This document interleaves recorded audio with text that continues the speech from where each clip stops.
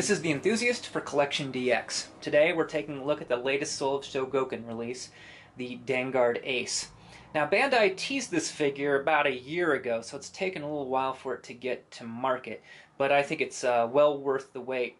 This is actually only the second modern version of this toy.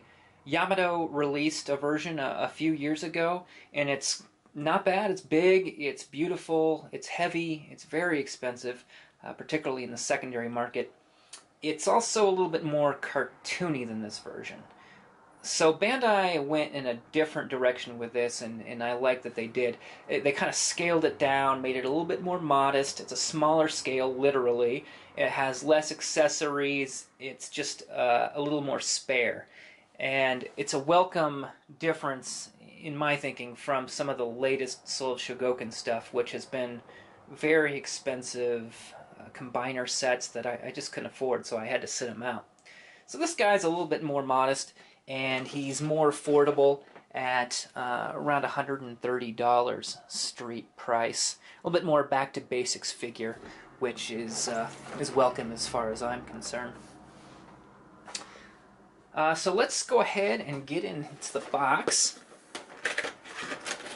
What we have here is a couple of trays of fiddly bits and accessories, as is pretty typical.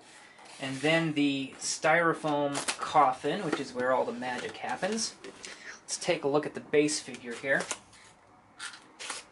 So, impressive right out of the box. But let's go ahead and dress him up before we get into too much detail. Now there's two helmet pieces that come in this set, one of which is a little bit more articulated and kind of unfolds as a ship that docks into a larger ship that the figure will become. And then there's a more basic helmet, which has less articulation, which I'll go ahead and put on him for now. There's also his distinctive shin guards, which have a nice glossy finish on them, which kind of pop. Okay, I'll put those on there. Also on his accessory tray, he has, Danguard the character has wings. And while his back right now is pretty clean without any kind of wing content, we can put two options on him. There's this panel that goes on, which is kind of the anime magic, uh, more tucked away wing profile. Or you can put the actual wings on, which, you know, are wings, and they kind of fold away. I prefer these, so I'm going to go ahead and put these on. Let's kind of tuck into his back here. The other thing I'm going to do right now is that his chest panels here open up, and the chest panel that comes on here has these wheels which pop out, which will uh, assist in the so-called perfect transformation later on, but right now they don't need to be there. So I'm going to pop those off. And he has another panel which fits into his chest. And this has some kind of blasters or weapons that are more eh, you know, anime accurate, but those are a little bit sleeker, so I'll pop those on for now. He also comes with uh, a handful of alternate hands, which I will not put on just for the sake of brevity, but he has open hands and fist hands. Not a ton.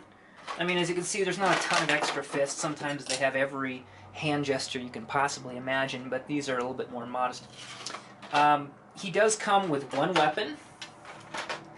I love the fact that you know this release comes with a, such a small amount of accessories because again I, I'm just turned off by those giant packages of accessories which drive up the price and I honestly don't use them. It's just it's not the kind of collector I am. I, I like the piece itself. So it comes with these two um, pieces that combine to form a kind of staff or a lance. You can also form that exact same bit as happens, I believe, in the anime with his chin guards, which also deploy in that same way. But you know, I like to see the actual chin guard, shin guards rather, on him at the same time as the lance. So let's click on there. So I'll take this off for a second. But now let's just kind of take the opportunity to look at the figure itself, which is really great, actually. I mean, for those of you viewing, I'm not sure if you're familiar with Soul of Chogokin, but what they do is just a very beautifully made object. I mean, this, in, in all respects, in the finish, in the fit, in the articulation, in the engineering, it's just the state of the art.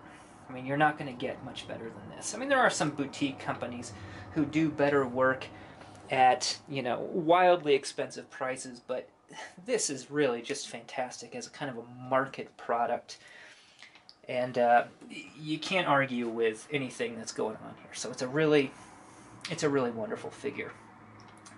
Um, the heft. Let's talk about the heft. Um, this is Goken, and a lot of modern Goken is kind of Goken in name only. There's token amounts of metal here, but not in this case. This is filled with lots of metal. Um, just the stuff that I'm aware of from, you know, tactily. We have these shoulder panels. These are metal. These um, upper chest pieces here on his shoulders are metal. Um,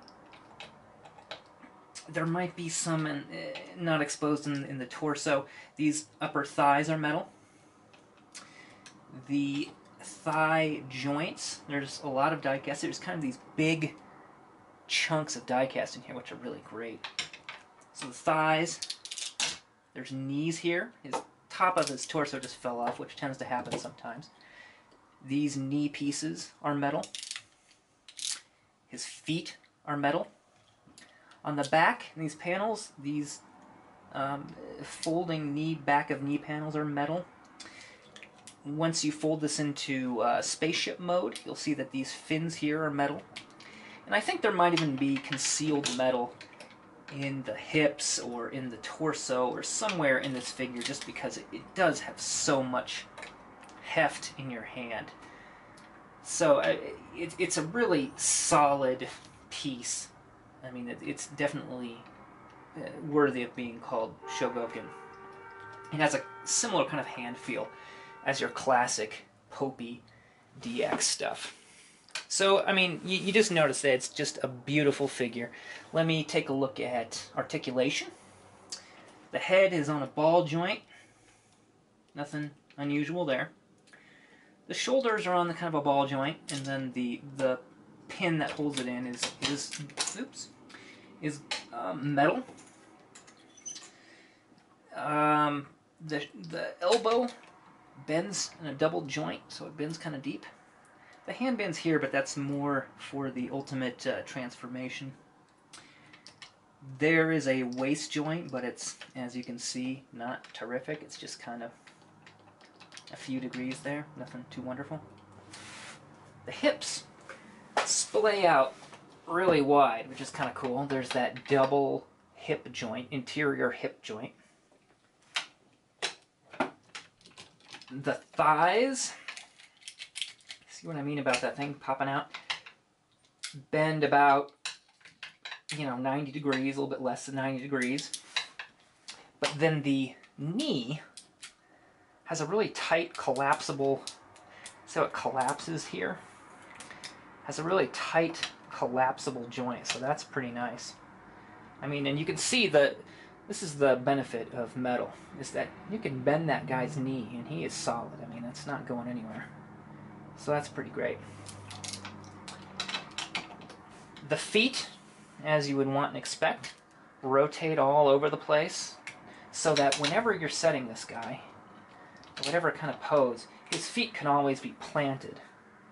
You know, it's kind of an extreme pose, but his feet are still solidly on the ground, which is just a, a, a great feature of these things, and it, it, makes the difference in terms of its uh, posing quality. But he's not a he's not a posing figure. I mean, he's this is more of a kind of DX presence figure. He'll pose. I mean, he he moves around and does these things. But it's that's kind of not the point. I mean, it's more it's more about his presence. I mean, he looks he looks so good doing whatever he does. Uh, one thing I want to point out is the shoulders do have an extra joint here that kind of have this huggy motion. That's that's a nice feature. But really, the you know, from a less technical aspect, the appeal of this figure just has to be in, in his enduring popularity as a design just has to be due to the the figure design i mean the the composition of this figure is just impeccable i mean the the proportions are really great he this kind of black and the red and the blue i mean it's just a beautiful design and he's he's really popular in America. I'm not sure that's the same in, in, in Japan. It's it might be a reason that we haven't seen a toy of this for you know however many years. But he's just great. He almost has like I feel like he has like a Batman type presence about him. That kind of black and you know this this kind of heroic pose and this heroic stance. It's a good looking robot, is what I'm saying. That's what I'm saying. So this figure itself is fantastic it's you know it's beautiful, it's tactile, it's just a lovely piece, and, uh, and you know I can't speak highly enough about it. Um, what I will do is I'm going to go ahead and end this segment, and then we can start talking about the transformation, the alt mode, because you know it's it's kind of unusual in a way for uh, late '70s super robots. He's uh, he's actually you know a transformer in addition to being a super robot a lot of your 70s era giant robots, your Mazingers, your Raideen's, they were kind like Raydeen was kind of a transformer, but it, I think Danguard's kind of the same way. He's kind of a transformer. It wasn't his sort of raison d'etre. It was just kind of a, a goofy anime feature. But we'll take a lot, uh, look at that in some depth in a second.